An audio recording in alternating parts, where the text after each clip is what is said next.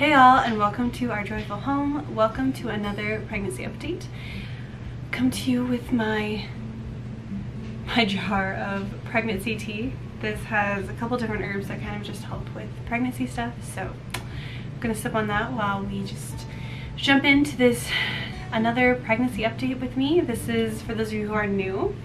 Uh, this is our fourth child and so this is my fourth pregnancy and I've just been doing some fun updates um, throughout this pregnancy and this one will be the last update in my second trimester. So let's go ahead and jump right into this video.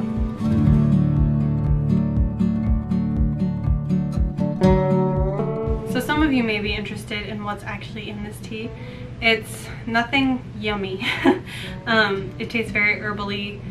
It's just like herbs. But um, I put raspberry red, red raspberry leaf tea, which can help tone the uterus and get it ready for labor and delivery.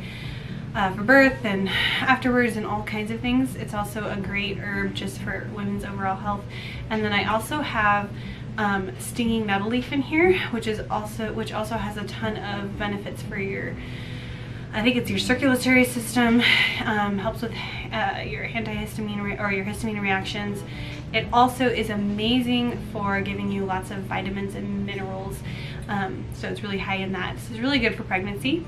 Um, I also added, I think, some lavender and some uh, ginger powder and some vitamin C powder, I think. Oh no, sorry, rose hips. That was the vitamin C. And then I put a little bit of dried um, elderberries as well. So it's kind of a just good boost for my body uh, while I'm pregnant. And I try to do this even after being pregnant and um, I'll change it up with different herbs and stuff. But that's kind of what's in this today. So I'm trying to sip on it and get it down, but it doesn't taste very good. I would highly recommend putting honey in your tea. I just am too lazy, so. But enough of the tea, let's go ahead and talk about this pregnancy and how it's been going this past month. Um, I am 26 weeks, almost 27. Tomorrow will be 27 weeks, or yeah, I'll be 27 weeks tomorrow. So this video is coming out a little late. Um, by the time this video comes out, I will be 27 weeks along. Um, but, you know, I kind of wanted to just even if it's late, I'm gonna do it anyway. Um, so yeah, there's that. But anyway, so um, yes, I am 26 weeks, almost 27, which is crazy because, and depending on who you talk to, um, and what site you go off of, some people, um, they, some people say that 27 weeks is the start of the third trimester. Some people say 28 weeks is the start of the, of the third trimester whatever, it doesn't really matter. The next video that I do film for you guys will be in the third trimester. So this will be my last second trimester update for this pregnancy, which is insane and crazy. Um, but I love it and it's going by fast. That's okay. Um, I have three-ish months left. So that's insane. And I'm getting excited. My mind is starting to go towards like prepping and getting ready for this baby. We are having a home birth, for those of you who are new. I've had three success or two successful home births. I had my first child was born in the hospital, but I did try to have a home birth, but sometimes things go awry and we had to do a transfer to the hospital. But with my most previous two births, I have had very successful home births and plan on doing the same with this one. So my mind is going into preparing mode where I am just preparing for this baby. I am putting checklists together and all kinds of stuff. I have some content coming out hopefully soon on like how I'm preparing for baby, what I'm doing preparing how I'm preparing my body for labor, how I'm what I'm taking supplement food wise, what I am going to be preparing physically for labor and delivering, like what physical things I'm going to be preparing for or preparing. So like um, what kind of meals I'm going to be preparing, um, different things that I need to gather for the birth. So all those things I hope to be doing in future videos for you guys. So I'll be doing different videos on those different topics. So stay tuned for those and hopefully I can get those out really quickly. Um, and then some of those won't obviously come out till I'm further along. But crazy stuff. It's getting really close and um, yeah, the next big thing in this pregnancy will probably be a baby shower, um, which is kind of fun. We are not finding out the gender, um, but uh, I have, I think it would be really nice to have a uh, baby shower jet anyway um, before the baby comes because I could definitely use cloth diapers, which I don't need to know the gender for that because we are going to be switching from disposables to cloth diapers. So um, I definitely would like a baby shower. My mom has been um, sweet enough to volunteer to do that. So that'll be the next fun, exciting thing that we do in this pregnancy. Um, so I'm excited for that. And I also could use some good postpartum things. And so I'm putting my registry together and checklists and food prep and it's crazy but this is like this is where I go into this mode of like preparing and getting ready and thinking and all those fun things but anyway so let's go into how this last month's been going. This last month has been going really great. So at 23 weeks pregnant, I was doing great. Nothing really crazy happened. I'm still, I actually had the contractions that I was having kind of slow down a little bit, um, but they were still happening quite regularly because um, I kind of talked about that in my last video. But um, they're just Braxton Hicks. They're just, you know, practice contractions and all that. But um, yeah, and later on down this month, I actually, they even lessened up. But anyway, 23 weeks kind of came and went without a hitch. Um, yeah, everything went well. 24 weeks came along and I had my midwife appointment. Also went extremely well. It was my um, um, yeah, and it was great. We got to hear the baby's heartbeat, which was still like, this baby likes to stay right in the 130s and it hasn't really moved since. Um, and not the low 130s, not really the one, I don't know. It likes to jump from like the higher 130s to like the lower 130 or mid 130s. It's kind of like in there. So I don't know. I'm still, I'm still kind of stumped on like what I might, what I think the baby is going to be. Um, I really, I, I waffle back and forth. Like some days I'm just like, oh, this is, this is a girl. And other days I'm like, no, uh, this is a boy. Like, I just, I don't know. And I don't know if I'll have a definitive guess when this baby arrives or not, or before this baby arrives or not. Um, either way, we did hear the heartbeat. The baby was healthy and strong. Took us a while to find this little kid's heartbeat. Um, some of my kids, for some reason, just know really well how to hide in my uterus. I don't know how, especially right now. Like, even then, I was fairly large, and the baby doesn't have a whole lot of room to move, but um, I'm hoping with this next appointment, which is in like, I think a week or two, um, that the baby will have a lot less room to just like move and so it'll be a lot easier to pick up the heart rate. Um, but anyway, we heard the heart rate and everything was fine. My levels are doing great. Um, and I have great iron levels. The next appointment that I have, I will be, she will be checking my glucose levels. Um, and what she does is you kind of just give, um, she does a little differently. I don't have to go in and get the stupid glucose drink or whatever that is. Um, but just to kind of check my, I think my blood sugars are... anyway, so we're gonna do that test next week and figure out how my levels are doing there. And I have no no worries whatsoever. I've never had a problem with it before and I don't feel like I have a problem with it now.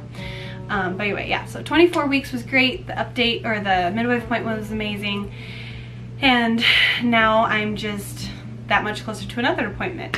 And um, after the appointment that's coming up, I will be meeting with my midwife every two weeks because I'll be in the third trimester. And once I hit the third trimester, then um, my midwife sees me every two weeks instead of once a month. So, um, and I actually might end up updating you guys every two weeks instead of once a month, but we'll see. I might not have enough time for that, but I won't get ahead of myself too much. So yeah, uh, third trimester is a week away essentially, and that's insane to me. Um, but yeah, so Anyway, 24 weeks was great. 25 weeks was also amazing. I believe that was the week that we did, um, yes. So at 25 weeks, 24 and 25 weeks pregnant, we were planning a youth conference for this area and for our, our church's first youth conference. And my husband was kind of head of it and I helped him with it. And it was an amazing outcome. We had like 30 kids, there's like 50 plus people that showed up. And it was an amazing, it, it really, it, it turned out really well. So that was really fun to do. And I was really glad we could do it right before I got really pregnant. Um, so that was really fun. But yeah, that was like 24-ish, end of 24-ish weeks, beginning of 25 weeks. We kind of did that for two days. That was really nice. And um, so, but that's really the only thing that happened that was really crazy. And then my contractions did start to kind of slow down. Um, I wasn't having as many Braxton Hicks uh, for that week or last week, which was 20, which is still this week, technically speaking. Um, but yeah, 25 weeks went really well. 26 weeks, which I am now, has been going really well. Um, the contractions started picking up like yesterday a little bit more. And it kind of just depends on what I'm doing. Um, if I stay active, really active, they do tend to pick up a little bit. And I think it's just my body being like, oh hey, like your body's working the way it should. And but it also happens when I'm really like not having an active week either. So it kind of just depends. But I'm really hoping I don't have as much prodromal labor as I have with my other kids, um, but I have a feeling I will because it usually just picks up with each kid. Um, and prodromal labor, for those of you who don't know, it's kind of like a false labor. And so essentially you're getting all these contractions that are real contractions, but your body doesn't go into labor.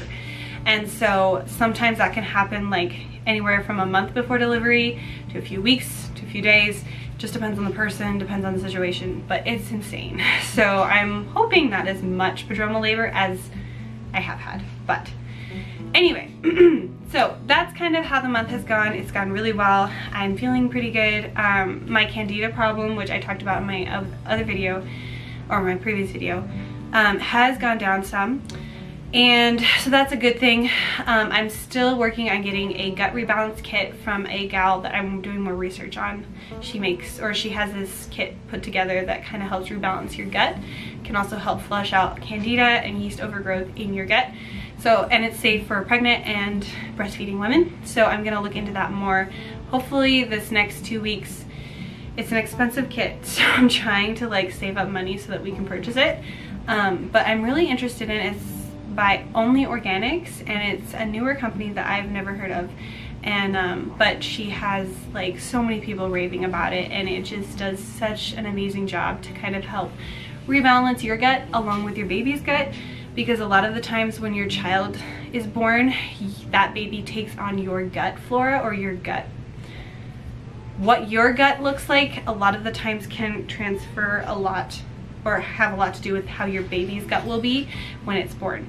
So um, it's an important thing to take into account when you're pregnant is how you eat and it's really important and as I've gotten with this pregnancy I've learned more about my gut and more about my baby's gut and how I should take action to make sure that the baby is set up for a better life outside the womb. So anyway, but it's been doing better.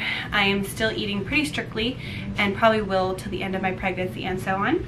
Um, but I've been able to kind of add in a few other things like a little more fruits, a little more vegetables that are a little starchier, a little more sugary, um, and still have no problems. So that's been good. But anyway, so, but yeah, that's pretty much the update. It's kind of uh, short, sweet, to the point. Um, it's also a little long. Sometimes I go on rabbit trails here, but um, but yeah, that's it's been a really good month and I'm looking forward to the third trimester to the third trimester um because I'll be almost done. And the only thing I'm not looking forward to is how big I'm going to be. But it's okay. And you know what? The bigger or the closer I get the bigger I will get and that means the baby will be here that much sooner. So I'm just trying to think positively here. um, but yeah, so anyway. I hope you guys enjoyed this video and I will see you guys in my next one. Real quick, I will show you the bump and how much I've grown this last month. It's actually, I feel like I've had a huge growth spurt. Um, this baby has gained has gained a few and so has mama. But, um, but yeah, so I will see you guys in my next one. Have a great one. Bye.